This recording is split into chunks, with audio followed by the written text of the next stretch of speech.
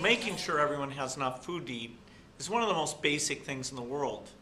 It not only prevents starvation, but allows kids to develop their full potential. So whether it's dealing with an acute crisis or helping farmers have new seeds and learn how to farm in ways that are more productive,